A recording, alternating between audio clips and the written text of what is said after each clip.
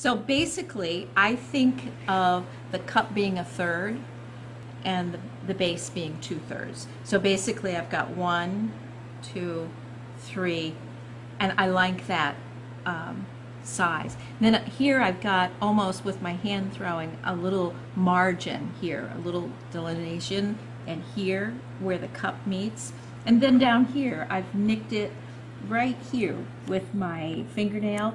And so I can use this as a little margin, here is margin, and here's a margin. So it will, when people look at it, they'll see the proportions of a third and two thirds, which is, I think, really kind of nice for people. So I'm going to go ahead and start my carving down here, and we need to stop for a second because I forgot.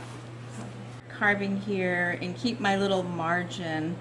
Um, forgot my banding wheel, so I wanted to go get it. But I just want to do little marks here to remind me that I'm going to leave this margin at the base. And the banding wheel makes this all so much better. I could write, I could take a pencil or a pen and make my lines on here, but I find it's much more fun to just let the design kind of flow. So what I'm going to do is I'm going to hold this and I'm going to see where if I were to use this, where would my fingers go? And basically what I've found is I like this part being out here. My fingers naturally cup it here. But down here, this is, it's too much right here. So I'll do a lot of carving here.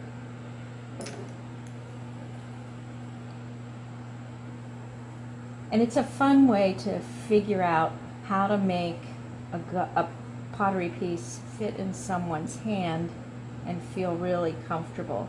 Because if you do it little bit by little bit, then you end up coming with coming up with something that's going to feel good in the hand. And you want it to be really comfortable so they'll continue to use it all the time. Back for more.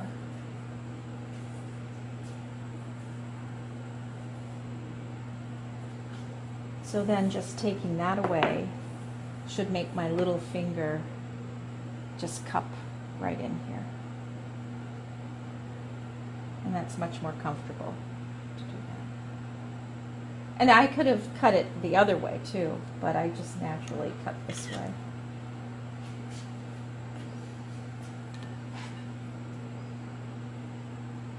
This also lightens up the stem. and it kind of like looks like little diamonds. I leave it and I will, um, in about two hours, go back and clean off all the burrs. So now I have to just say, well, actually this one's not bad the way it is. But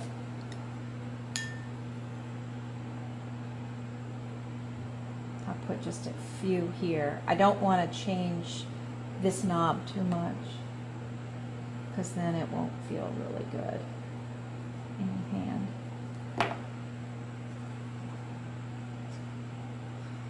And then, and then I just go back and down here I can play.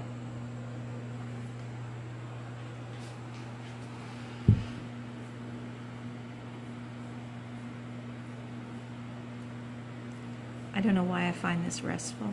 I just do.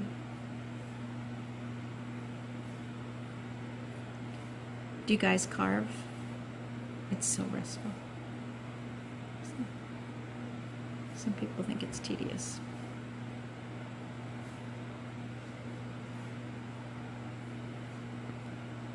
I have to stop myself because I would carve the whole thing.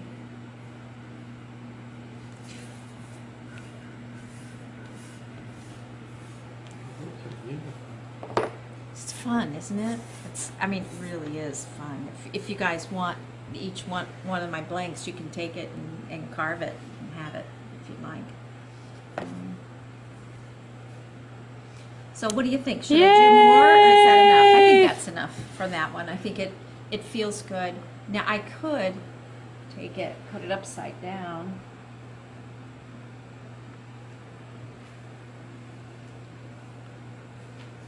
And, and carve it here. Ooh, nice. Hey, you get such a different orientation or perspective when you turn it upside When you down. turn it upside down, Yeah. it's kind of like a, yeah, and I had never thought about pumpkin, about looking at it as a, um, um, You know what else it would make? what's that? A cake holder. Yes, Oh, yeah, yes, it yes. would, you're right. Or any kind of foot, footed server. Yes. Mm-hmm. Oh, and that would be light, because this is just a very light bowl, mm-hmm. and yet it would hold. Oh, oh. Oh, people are so used to in my classes, like, my last class was plates and platters, and it ended up being dinnerware by the end. You know, so everybody made a dinner set, but, you know, goblets, candle holders, and cake plates kind of sounds. And dog water bowls. And, you know, I, dog water bowls. But this will lighten it up a little bit more visually, not so much, um, but this, I, when I turned it over, I thought, well, when I first had it right side up, I thought, you know, this looks a little clunky up top here. So if I take this and kind of carve it here, then it's not quite so, not quite so clunky. Now, this stage of the game, do you know how you're gonna glaze it, or are you beginning A to lot of get times they do, yeah, and, and there are certain glazes that look so nice over carvings. The antique blue, this, this is Uh-huh. all cone six clay, cone five, six, so the antique blue looks really nice in carvings. So let's turn it back over and see, and see that lightens, Mm. for me, that lightens up Oh, this very look up much so. top. Yeah. Beautiful. Um, It's not quite so clunky, but now I kinda want, And in a funny way, it, it looks more finished too, because it was just part of the way up the shaft. yeah, yeah. So- But, you know, it's hard for me to stop carving once I start, you know, it's kind of Hey, like, one more thing you could do. one more thing, one more line. But that's the nice thing is, you know, and it's all, I like how you're making them symmetrical or, you know, Yeah. you're joining the two. yeah. I just- Perfect. It looked a little, um, like it needed that. Oh, it's lovely. Oh, That's better, that's better. Now, do you ever, um, how do I- it's like when